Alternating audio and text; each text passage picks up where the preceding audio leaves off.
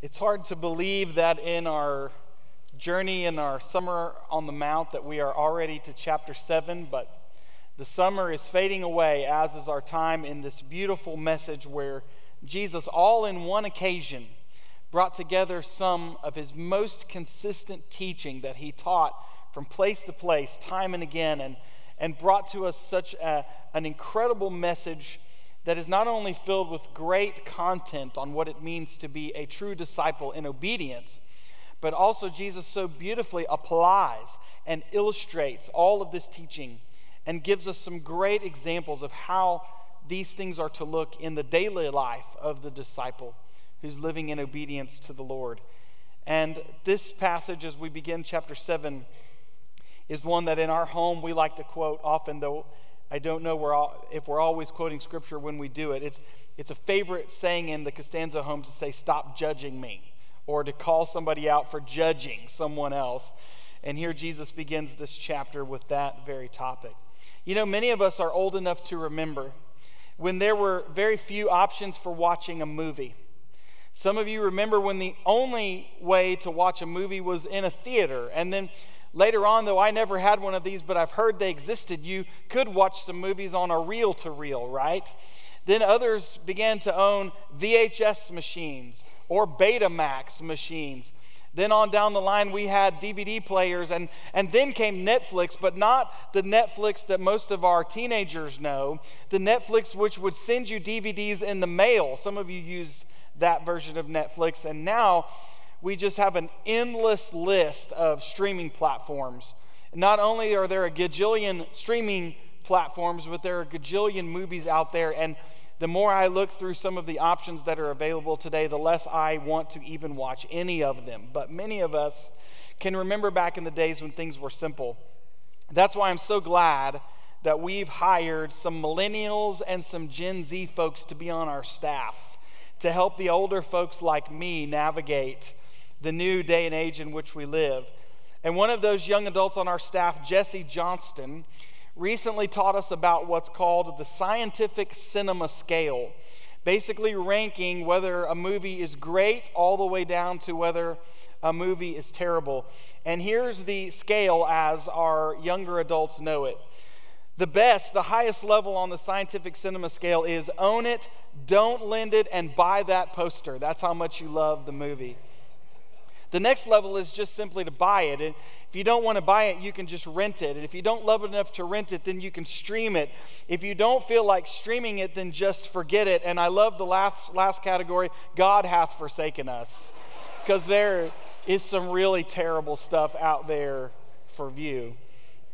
Movies are one thing. But the truth is, in nearly every part of our lives and culture, right now we are taught to be judges and to be critics.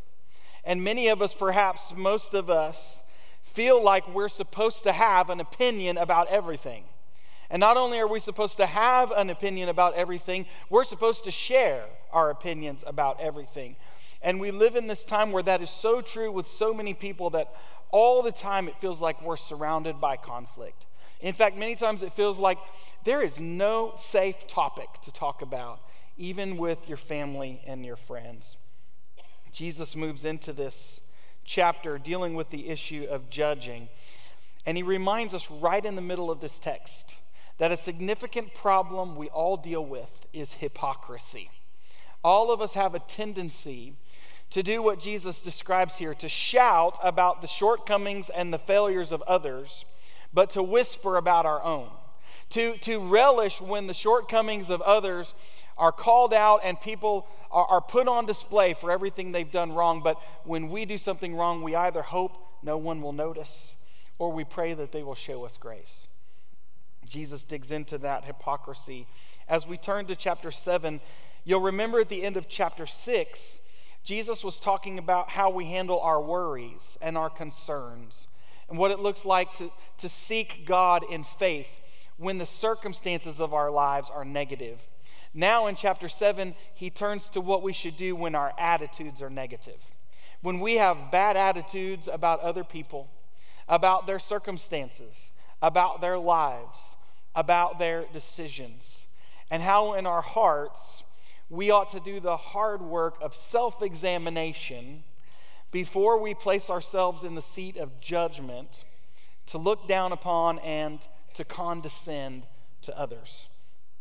Earlier in the Sermon on the Mount, Jesus warned us about our hypocrisy in relation to God. He said, Be careful not to practice your righteousness in front of others to be noticed by them, because if you do that, you will have no reward from your Father in heaven. Here, he warns us about hypocrisy in relation to others, to our neighbor, to our brother and sister.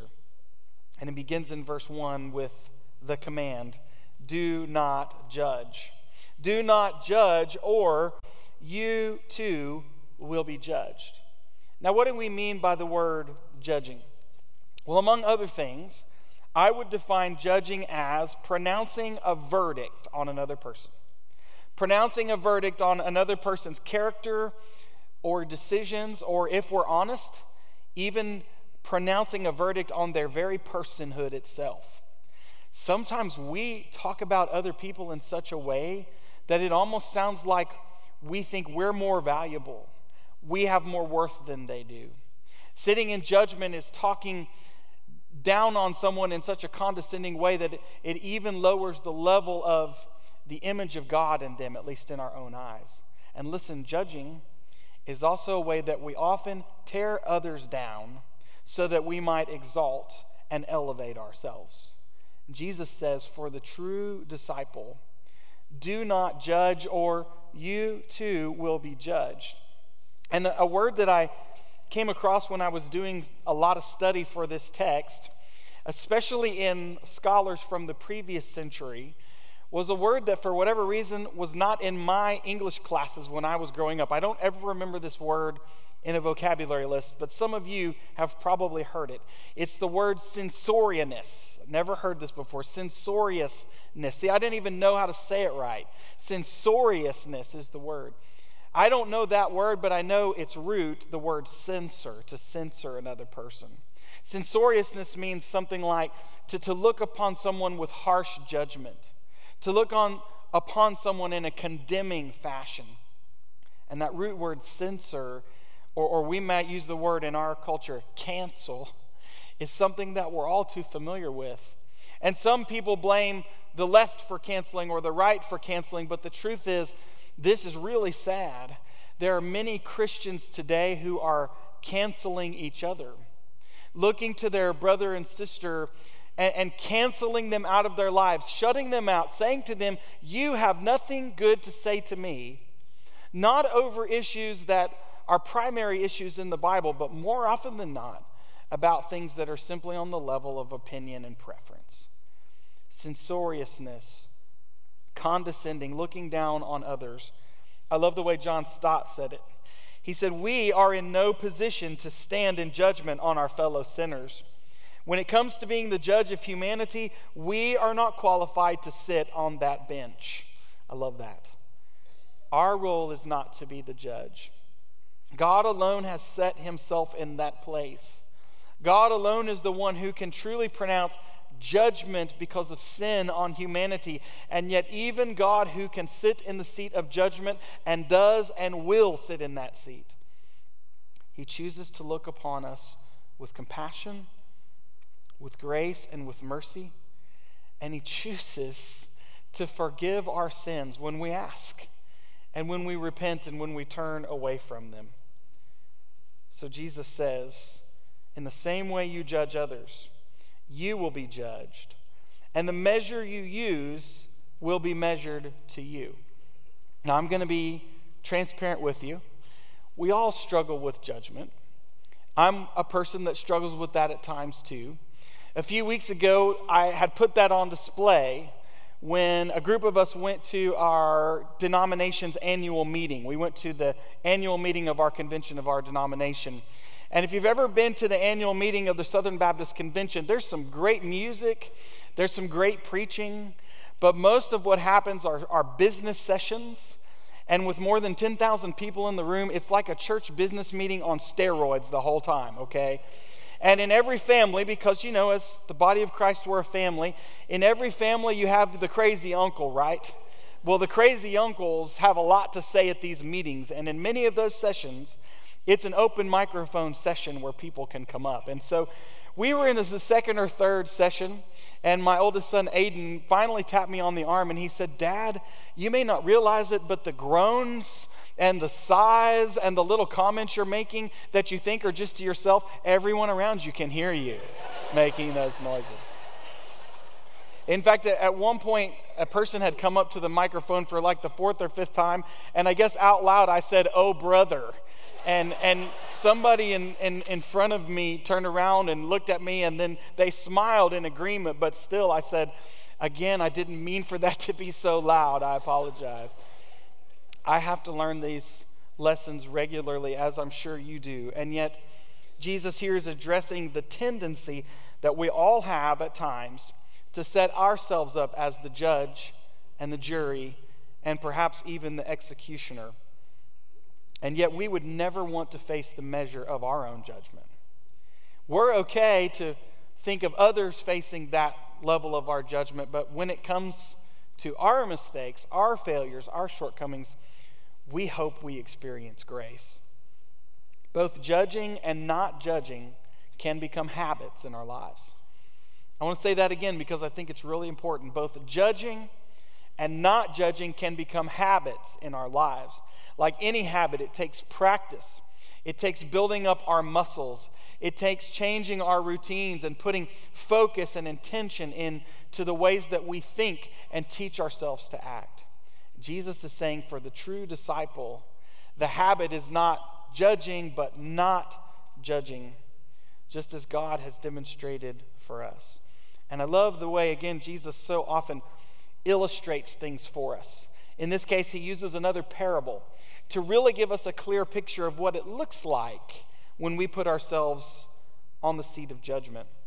Why do you look, Jesus says, at the speck of sawdust in your brother's eye and pay no attention to the plank that's in your own eye? Some of your translations will, will say a speck of sawdust, or maybe they'll say something like a chip of wood, or maybe you have a, a really good classical translation that says a mote, a mote in your eye.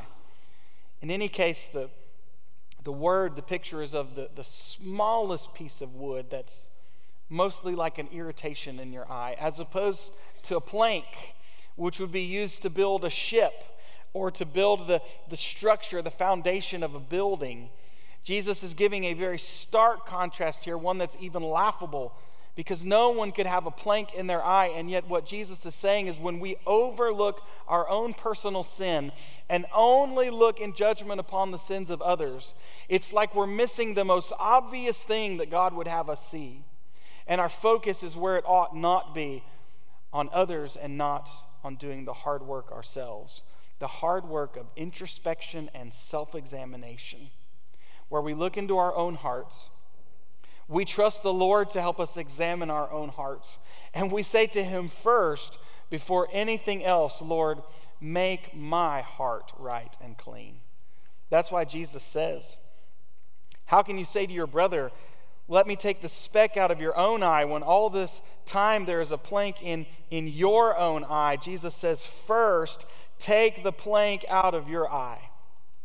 Then you will see clearly if you really care about your brother if you really care about your sister, if you want to edify them, if there's something in their life that is of concern to you, and I would add, if you have earned the place with your brother or sister to speak the truth to them in love, first make sure that your heart is clean and make sure the plank is out of your own eye so that you can see clearly to offer to your brother or sister what you believe they need.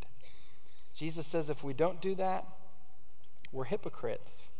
And remember, we, we talked about this earlier in the sermon. Who were the hypocrites in the ancient world? The Greek wor- word is actually hypocrite, it's the same word. And it described actors who were in plays and performances, who in, in front of people were masquerading, were playing a character, were playing a role, hiding their true selves, their true identity behind a mask. In the same way, Jesus says, if you don't take the plank out of your eye and all of your focus is on the speck in your brother or sister's eye, you too are a hypocrite. You're a pretender. You're an impersonator. You are not being who you say you are. This is a Christ like love that Jesus describes that we ought to have for our brother or sister. And it reminds me, as we've talked about several times in the past, of what is the most consistent description of God that we find in the Old Testament, in the Hebrew Scriptures. The most common description of God and his character throughout the Hebrew Scriptures, you'll find it time and again in each one of the sections of the Old Testament Scripture. It goes like this The Lord, the Lord, the compassionate and gracious God, slow to anger, abounding in love and faithfulness. Jesus is saying, with even with all of the sinfulness of your character and your being, if that is how your heavenly Father looks upon you, grace, compassion, mercy, love, righteousness, how much more in a Christ like way ought you look to your brother and sister with the same attributes? Now, as we move on into the next verse, it's important to point out here that this is not instruction from Jesus to completely turn off our critical thinking, okay? Jesus is not saying here with this idea of not judging that we should never call sin sin that we should never call evil evil, that we should never call darkness darkness. No, in fact, Scripture is very consistent on the opposite side that we should, especially in difficult times like we're living in, seek God regularly for discernment so that we will know what is right. That we'll know how to, to make sense of all of the mixed messages we receive. And when, when so often it's so hard to know what is actually true and trustworthy, to seek God for discernment so that we might know. Jesus is not saying to turn off our critical thinking or seeking the Holy Spirit to help us know what is true and what is false. But instead, he's just reminding us that self examination is always our first step and always more valuable than condescension and condemnation of others. In fact, it's critical thinking that I think Jesus turns to next. In what it has to be sort of the out of place verse in this part of the passage. I've just given the, the, the phrase to go with verse 6 do not waste that which is sacred. Jesus uses much more vivid language, doesn't he, to describe what he's talking about here. Do not give to dogs what is sacred, and do not throw your pearls to pigs.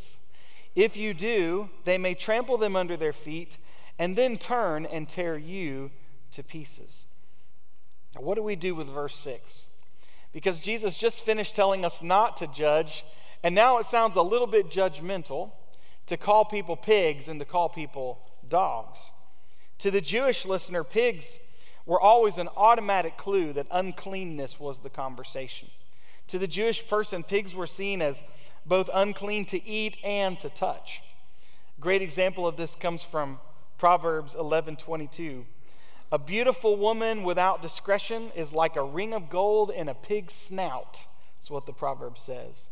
That's the kind of language that, that the Bible consistently uses when pigs are used as the example.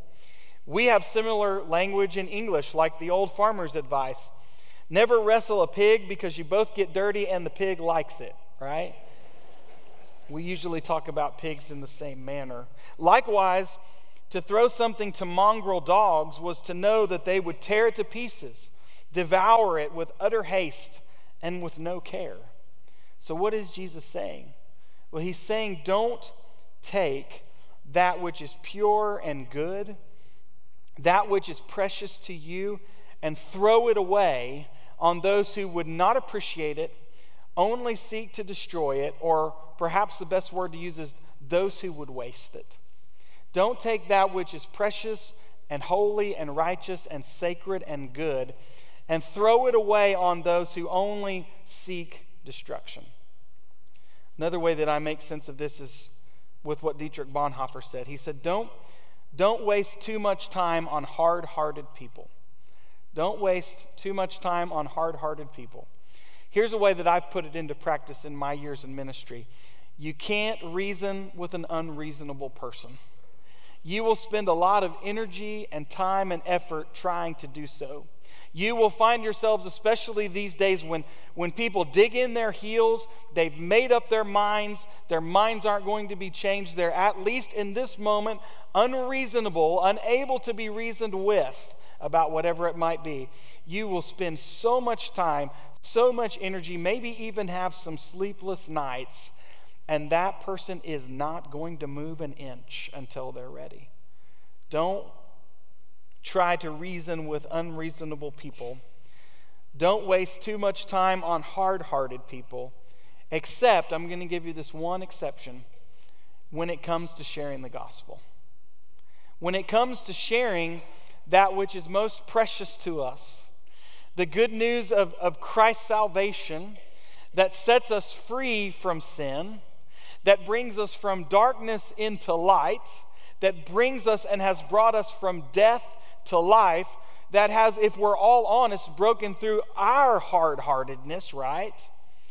The good news of the salvation of Jesus Christ, his death on the cross, his victorious resurrection, the way that he has made it possible that we can come to God personally. That's your exception. Share that with the hard hearted person. Share that with the unreasonable person. Why? Because ultimately it's only the gospel that can do the work of changing the heart, just like it's done for us. But Jesus says, don't judge, don't put yourself in that seat. Look upon your brother as you would want people to look upon you. But at the same time, at some point, if what you're throwing away is going to pigs and to dogs and it's being ruined, perhaps it's time to dust off your feet and move on to the next person. As we move to the last part of the text, some of this probably seems impossible, or it seems nearly impossible. And I think Jesus understood that. And that's why he moved into the next section with some words of hope. At the very moment where we might think, I can't do that, this is impossible. In the times in which we're living, how can anybody truly live this way? Jesus is saying here, as he says in so many other places, if you realize that something is lacking, ask of your Heavenly Father, who already knows what you need before you ask Him. And your Heavenly Father, knowing what you need, will hear you and He will answer your prayers. I would imagine that some of you probably have Matthew 7 7, maybe 7 7 and 8, somewhere in your home on the wall or maybe in your office. Ask and it will be given to you. Seek and you will find. Knock, and the door will be open to you, for everyone who asks receives. The one who seeks finds, and to the one who knocks, the door will be opened. Notice the, how the intensity of these words increases as Jesus goes forward in these verses. Sometimes we simply just need to ask. As James says, James 4 2, you do not have because you do not ask God. Sometimes it's just as simple as going to the Lord and asking, and those who ask in those situations and circumstances receive. But sometimes God wants us to take the next step. Yes, He wants us to ask, but He doesn't want us to ask in a manner that is sort of flippant. He wants us to dig a little deeper. He wants us to seek Him. He wants us to create some space where it's more than just throwing out the words, but we genuinely, from our hearts, and in the commitment of our lives are seeking Him fully. When we seek Him in that way, Jesus says, we will find Him. And, and, and I can say to you from personal experience, whenever I have sought the Lord, truly sought Him with all my heart, guess what I found? I found Him. But so many times, the biggest barrier to finding God has simply been my unwillingness to seek Him completely. Sometimes we use that word seekers only to talk about a person before they come to faith. But I believe we should always be seekers of God.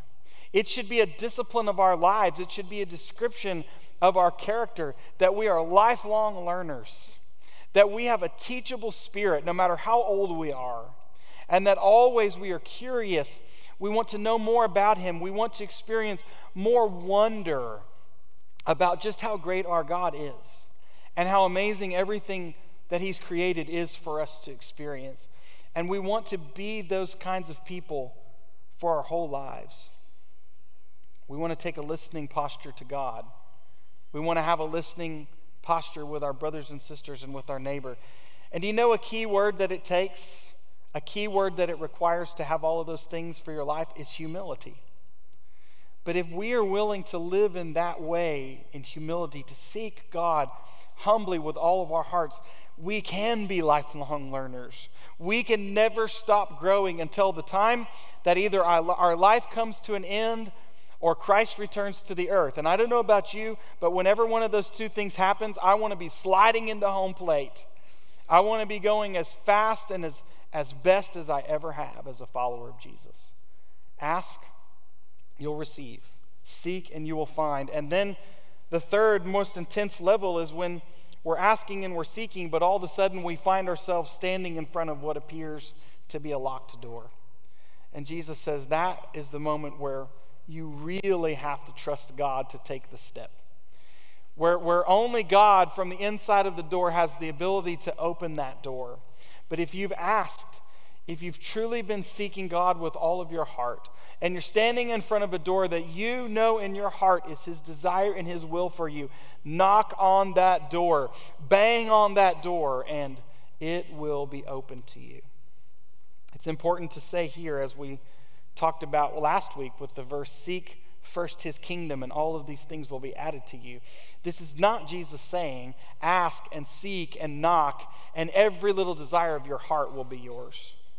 No, this is a process as the intensity increases of seeking and searching out God's will and desire for you. And when you come up to a door that seems locked, but it's God's desire for you to go through it, knock on that door, and I assure you it will be open to you. The best illustration that I could ever give for this is the illustration that Jesus uses. As a parent with children, I know as a parent that, that if I were to give my children everything that they've ever asked for the very first time they asked for it, not only would I be dead broke, but we would have lots of things in our home that we neither need nor have interest in anymore. Any good parent knows that though we have a desire to give our kids more than we had and as much as we can, it's not good for them. Even if we have the means to give them everything they ask for every time they ask. But no, as parents, we we want our children to learn some valuable things that will make them more successful in life, will make them better adults, better followers of Jesus. So sometimes to my own kids, when they ask for something, I say, Are you willing to work for it? Or I say, Are, are you willing to wait? If you'll save up your allowance for a few months, then maybe you'll be able to buy that thing. Or if you don't want to wait that long, I got a lot of jobs around this house that I don't like doing, and I'll gladly let you do some of them for money. I bet your grandma and grandpa have the same thing going on in their house. And we see how much does my child really want it? How strong is that desire? Are they willing to work? Are they willing to wait? And as we ask, seek, and knock, just as we hope our children learn these things, here's what we learn from our Heavenly Father we learn how to wait we learn how to work, we learn how to appreciate, and we learn how to trust. How to trust what? That our Heavenly Father is exactly as Jesus describes him here in these verses. He is our Heavenly Father who loves to give good gifts to his children. He's not a prankster. He's not trying to trick us by giving us a stone instead of bread or snake instead of fish. He's not cruel. He's not cold and distant. Our Heavenly Father is fully aware of who we are and where we are. And He knows what we need even before we ask Him. And as James says, again from James, James 1:17, every good and perfect gift is from above, coming down from the Father of heavenly lights, who does not change like shifting shadows. This morning, know, believe, trust. Your heavenly Father is a good, good Father who loves to give good gifts to his children. And he gives us those good gifts as blessings, not just so that we might experience them, but as we move into the very last verse. As we ask, as we seek, as we knock, as the door is open to us and our Father gives us blessings, we then use them as blessings towards others. Jesus says, Love your neighbor. This is the, the law, the command that sums up all the law and prophets. Love your neighbor through the golden rule. Verse 12 is probably one of the verses from the Bible that is best known all over the world today. In everything, do to others what you would have them do to you. For this sums up the law and the prophets. The golden rule is actually found in many other religions, many other religious writings, and many writings of the ancient philosophers. But in every case except for this one, the golden rule is presented in the negative sense. So rather than as we read it, that, that you would do to others what you would have them do to you, most others use the golden rule this way do not do to others what you would not have them do to you. Notice how Jesus flips this upside down. And he makes this, listen, he makes this a matter of obedience. It's not just about reaction, it's not just a command like do no harm, it's not just a command like do not retaliate. But Jesus is saying again, for the true disciple, we will choose to do what's right to our neighbor, just as we would have it done for ourselves we would choose to love our neighbor as ourselves. That also, Jesus says, sums up all the law and the prophets. Not just that we will do no harm, but that we will choose and look out for the good of our brother and sister and for our neighbor. And lest we forget, earlier on in the Sermon on the Mount, Jesus included with our neighbor our enemies. He commanded us love your enemies, pray for those who persecute you Yes, here, even do good to those who would not seek to do good to you. These things are hard. Dare I say, they seem impossible, especially living in times like ours where we do always feel that pressure, whether it's internal or cultural, to judge, to criticize, and to express our opinion about everything. But if we ask, we will receive if we seek in these hard, difficult areas of true discipleship, we will find. We will find the Lord as our example to follow. And if we knock, the door will be open to us. And the blessings we receive, the love that we receive, can also be experienced by our neighbor. Because just as our God has been gracious to us, so too we can be gracious to them. True disciples make a habit of not judging others. True disciples realize that we all struggle with hypocrisy. True disciples know that self examination is always better and comes first before we look down upon others. True disciples know that Scripture continually teaches us to ask God for discernment because true disciples are always seeking God and are always seeking what is good for our neighbor. This morning, as we move to our time of invitation and response, I want to just put those three words before all of us once again ask, seek, and knock. Wherever you are this morning, whatever baggage you've brought into this place, this is an opportunity as we have one more time to sing, one more time, just you to spend some time before the Lord to ask. Ask God to help you take whatever that next step is and, and you'll receive. Seek God with all of your heart, and even, believe it or not, in this very moment, you can see Him and find Him. Knock, and that door that seems to be closed to you will be opened, especially if it's the door to your heart to make you a truer disciple of the Lord.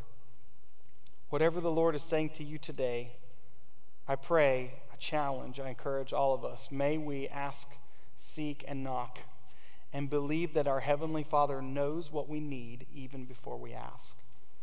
Lord, I thank you today for the teaching of Jesus, but most importantly, I just thank you for Jesus. I thank you for his example. I thank you for his life. Certainly, thank you for the teaching that we have recorded of our Lord and Savior Jesus Christ. But also, Lord, we thank you for his death and we thank you for the resurrection. We thank you that you have made a way that even though we are sinners, we can be right with you. Lord, you have made for us a way, a path that we can follow you in obedience, and we can be Christ like. We can be more like you in the things that we do, in the attitudes that we have, in the way we look upon our neighbor. Today, Lord, I pray for each and every one of us, wherever we are, that you would help us to take the next step of obedience. If there's anyone here who feels like their heart is closed off, Lord, they feel like today all of their life is filled with darkness. I pray in these last moments that you would speak to them so clearly, that you would remind them that you love them, that you would remind them of the cross and all that Christ has done. And Lord, that you would remind them of the victory that you've given us over death and over sin and over darkness. And Lord, would you draw that person so close to yourself that today they would know they hear from you? And would you give that person today who needs to take a step of obedience the courage to take that step and to follow you closely from this day forward? Lord, we give you this time for your glory in Jesus' name.